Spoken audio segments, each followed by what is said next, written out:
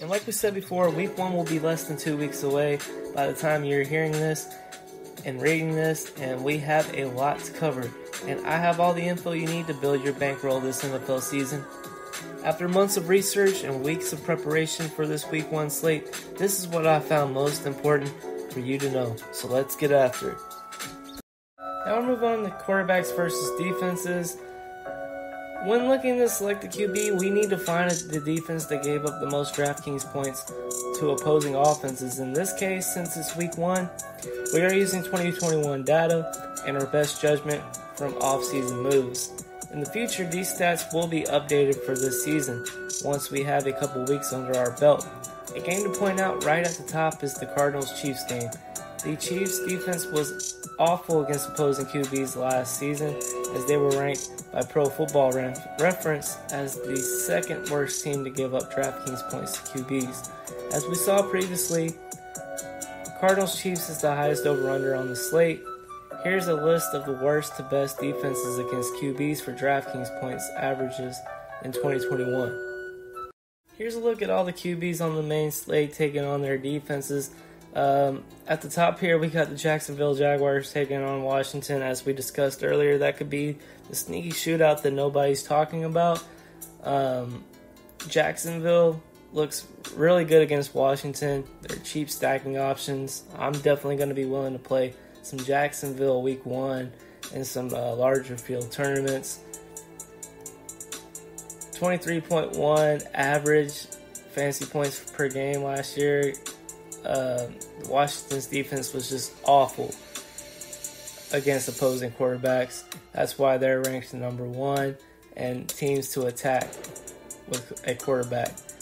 The Arizona Cardinals sitting at number two. We already discussed them. 21.3 uh, DraftKings points the Chiefs gave up against opposing quarterbacks. So Kyler Murray is definitely going to be somebody you want to consider.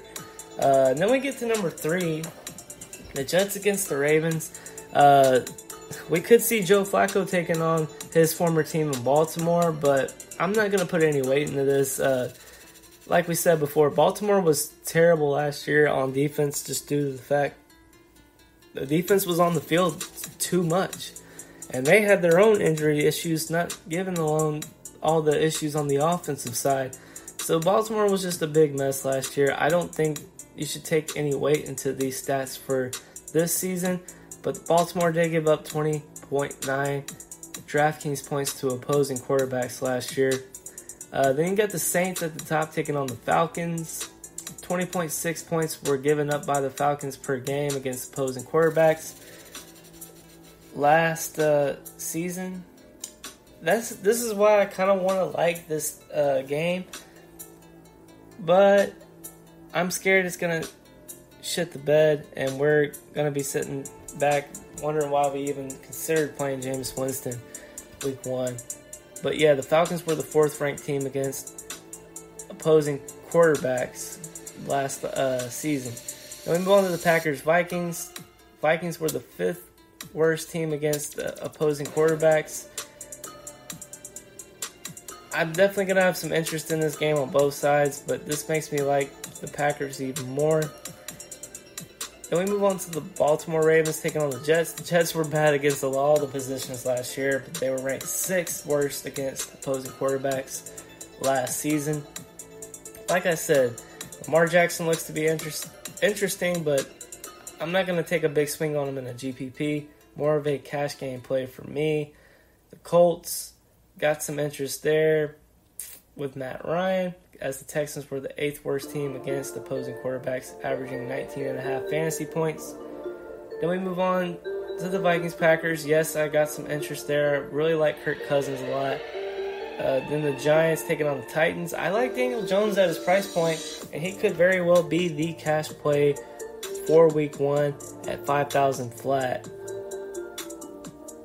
Then we move on to the Eagles. Yeah, I got some interest there. Uh, Jalen Hurts He's got some new weapons with AJ Brown uh, in Philadelphia now, so there's definitely going to be some interest there. Moving on to the Texans now, I don't have any interest in Davis Mills week one. If you want to play him in the Millionaire Maker, go for it. But uh, in these regular single entry, three max tournaments, I'm not going to play Davis Mills. Uh, commanders, Jaguars definitely got some interest there. I think this could be that sneaky shootout nobody's talking about, as I've discussed before. Pittsburgh taking on Cincinnati. That's something that's very interesting on this list, in my opinion, is that Pittsburgh is ranked higher than Cincinnati is uh, at 18.9. The Bengals gave up that many fantasy points against opposing quarterbacks last year, ranked 12th. So that's definitely something to consider if you want to roster Mitchell Trubisky. Try to get a little sneaky. This could be a lot closer game than what Vegas thinks. Chargers Raiders ranked 13th against uh, opposing quarterbacks. So yeah, definitely want to attack this Raiders defense. 49ers Bears uh, really only cash game interest for me with Trey Lance. Raiders Chargers like the game environment. We just discussed the Chicago earlier, saying we don't really have a lot of interest in Justin Fields or his pass catchers. Uh, yeah, that's the list of the the top ranked 14 teams. We got about 16 teams on here because there's some teams that are tied with the same amount of fantasy points averaged. So, if you want to see the rest of this list, subscribe to my Patreon, and we will have it at your disposal anytime you want. But as of right now, Got some interest in the Jaguars and the Cardinals and the Jets. No interest in the Jets. no interest in the Saints. Interest in the Packers, Colts, Vikings, Eagles, Steelers. But yeah, you be the judge of this list. Take what you want from it, but those are the QBs that I like as of right now.